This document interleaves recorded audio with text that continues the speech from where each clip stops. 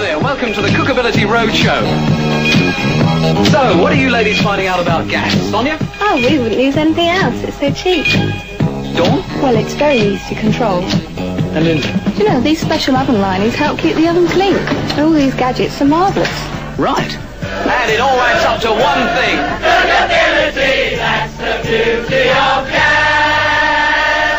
I've never eaten so well in my life.